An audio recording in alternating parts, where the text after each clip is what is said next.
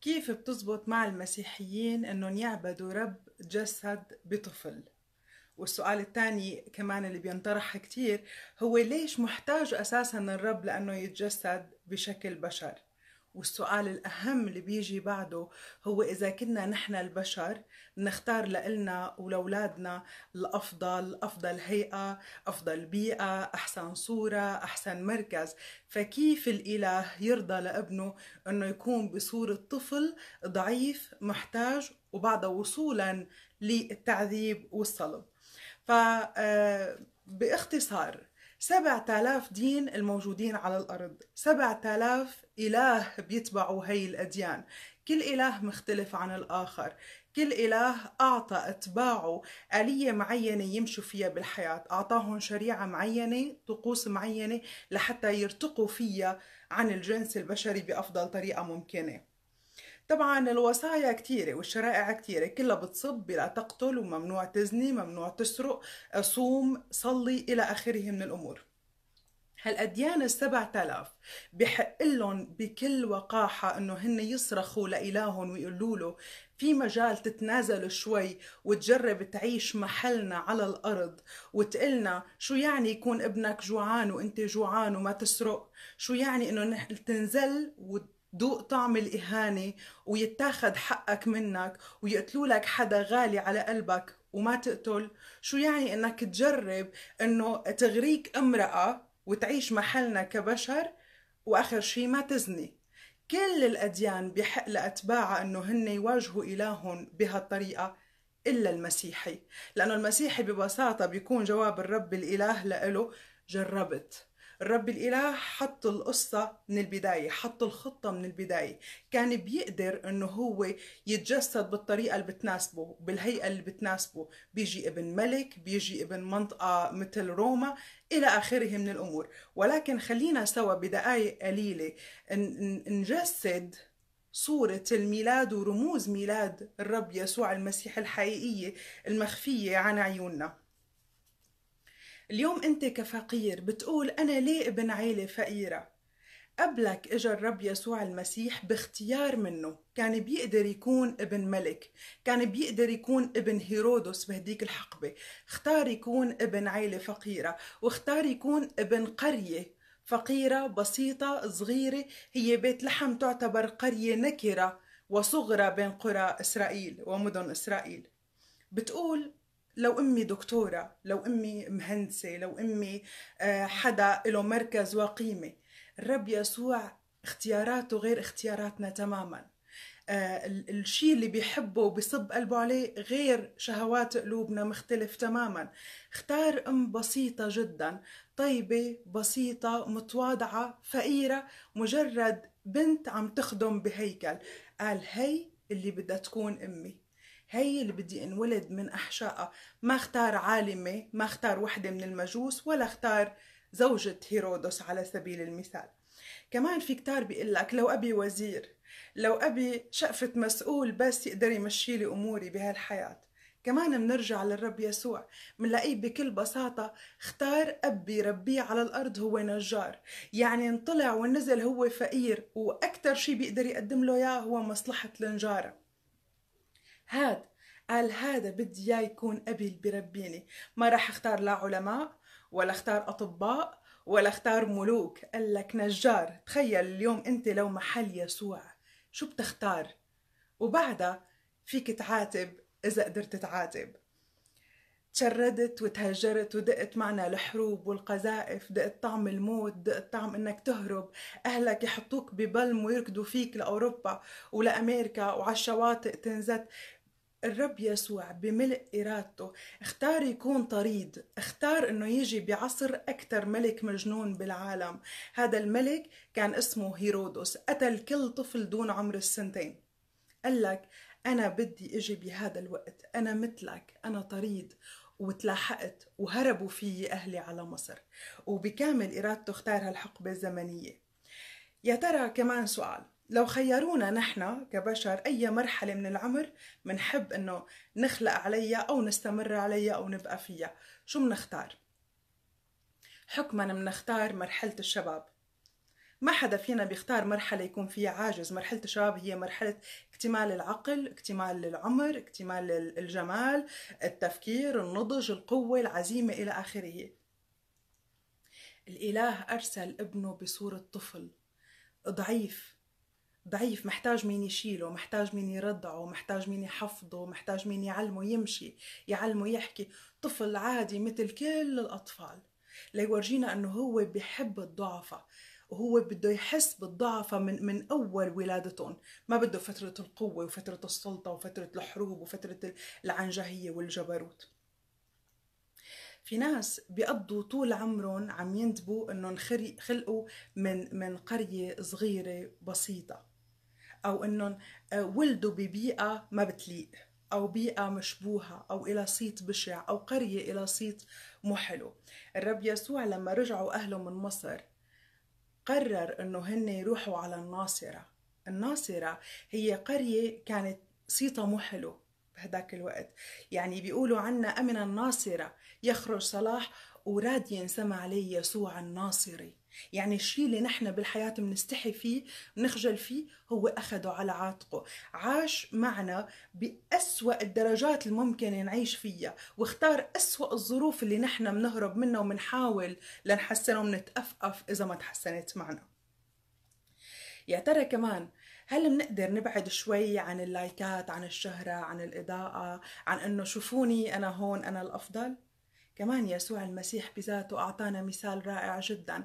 عاش سنوات طويلة من عمره مخبى ما حدا بيعرف أنه موجود وما حدا سمع فيه. مرة سألني شخص قال لي ببساطة قال لي كيف بتآمنوا برب انولد بمزود. المزود للي ما بيعرفوه هو مثل السحارة أو الصندوقة اللي اللي بياكلوا منها الدواب والبهائم بيستعملوها لعلف الحيوانات بالحظائر. فقال لي كيف رب بجلالة قدره وببساطة بمزود حقير خليتوه إنه هو ينولد. فباختصار مثل ما رديت له وسكت ما نطق رح رد للكل اللي عم يسألوا نفس هذا السؤال. المزود هو المكان اللي بينوضع فيه الأكل أكل الحيوانات أو أكل الدابة أو العلف. المزود اللي نحط فيه الرب يسوع هو دلالة على الأكل على الطعام هو بذاته الطعام ولكن لإلنا نحن البشر. هو اللي قال عن حاله الخبز النازل من السماء. هو اللي قال من يأكل مني لا يجوع أبدا. هو اللي قال جسدي مأكل حق. فالسقوط والخطيئة خلت بني آدم يسقطوا من الطبيعة النورانية من الأجساد الممجدة للأجساد الفاسدة للجسم الحيواني اللي عايشين فيه على الأرض. بدون هالمأكل الحق اللي يرجعنا لطبيعتنا الأولى اللي يرجعنا لطبيعتنا النورانية اللي يرجع الأجساد الفاسدة لأجساد ممجدة ما في تغيير بصير. فكل مين أكل من هذا الجسد بينال الحياة الأبدية فيه لأنه هذا الجسد هو خبز السماء النازل للأرض. وكل مين رفض هالجسد حافظ على طبيعته الساقطة على طبيعته البهائمية اللي تحول لإلها بيقول الكتاب أما نحن فنلنا التبني الفرق بين بنوتنا وبنوة الرب يسوع المسيح إنه نحن بنوتنا أخذناها منه، أخذناها بالنعمة لما آمنا فيه، هو بنوته بنوة حقيقية، هو إله حقيقي، بنوته مختلفة بالطبيعة والجوهر عن بنوتنا نحن، بينما هو اللي أعطانا البنوة. التجسد ليش تم؟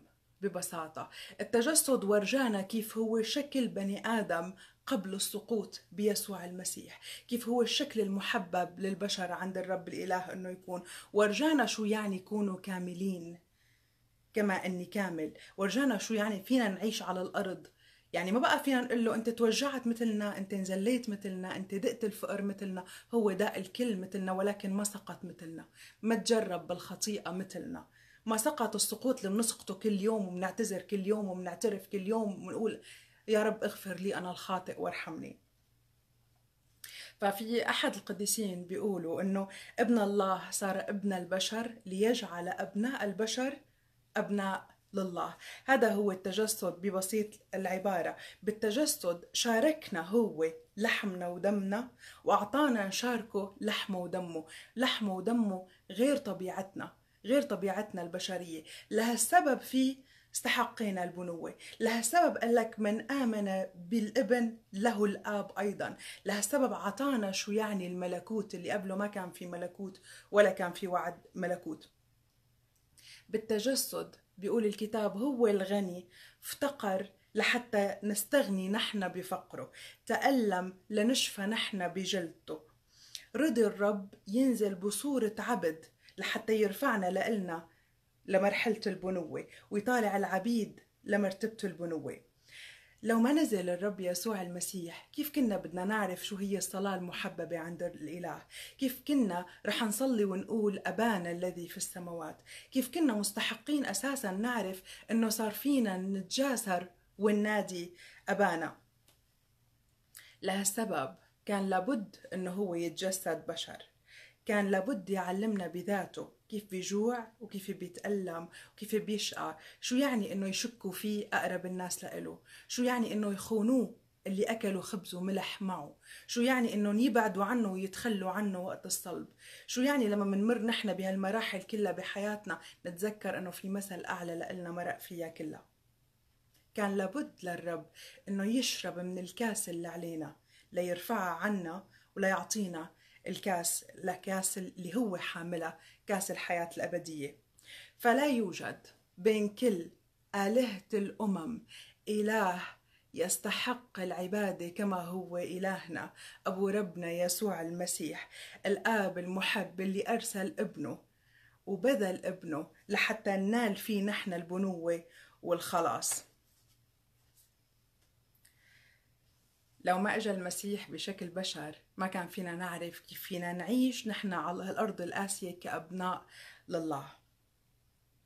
لو ما جاء المسيح وهذا الأهم طبعا الفداء هو الدرجة الأولى ولكن ال ال الأمر المهم الثاني اللي كتار منا حصلوا عليه وما قدروا قيمته وكتار منا للأسف كمسيحيين أطفأوه وكتار منا أحزنوه بدون ما يفهموا هو الروح القدس. لو ما اجى المسيح على الأرض ما كان منح لنا سكن الروح القدس جواتنا. قبل المسيح الروح القدس روح الله ما سكن ولا بحدا. مرق مرور الكرام على الأنبياء لينفذوا مهمة معينة وفارقهم. بعد المسيح نلنا شو يعني إنه يسكن فينا روح الله. وروح الله ما بيسكن ما بيسكن إلا بأبناء الله لأنه هو ما حدا بيرسله للبشر إلا يسوع المسيح ويسوع المسيح بيرسله للي بيآمنوا فيه. شغلة إبليس بالنهاية إنه هو يضل يسخف لنا من هالعظائم والأمور اللي عطاها ايانا ربنا. يضل يقلنا طفل ومزود وخلق من مرة آه، عزبة. وشو يعني خلاص؟ وشو ليش انصلب؟ وشو يعني يتألم وتجسد هالحكي كله نحن صرنا يا جماعة بال 2020 لسه في حدا بيآمن فيه. هي شغلته هو. لحتى يخلينا نخجل نخجل من دم غالي اندفع كرمالنا ويخلينا نقول له إيه نساير. البعض مننا وبالنتيجة ياخذنا للهلاك ويبعدنا عن الخلاص اللي اندفع فيه دم عظيم كرمالنا. فشغلتنا نحن إنه نقول له التالي بنقول له الإله الما مشي معي من طفولتي لمشيبي اللي ما عرف شو يعني طفولة اللي ما ما عرف شو يعني عذاب اللي ما عرف شو يعني فقر اللي ما بيقدر يحس بالجوعانين اللي أساسا ما بيجوع ولا بيتعب ولا بيعطش ولا بيحس هذا إله غير جدير بالعبودية. غير جدير بالعبودية أساسا. بكل احتفال بعيد ميلاد الرب يسوع منكون نحن عم نحتفل إننا نحن أبناء الله ملك الملوك ولد فمجدوه